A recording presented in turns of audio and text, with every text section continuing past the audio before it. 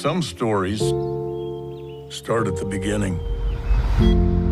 Ours begins here.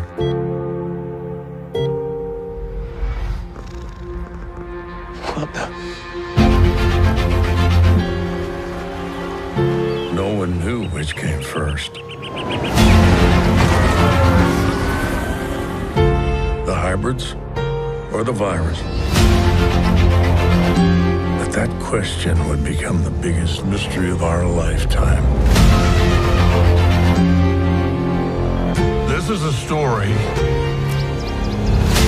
about a very special boy. A boy we come to know as Sweet Tooth.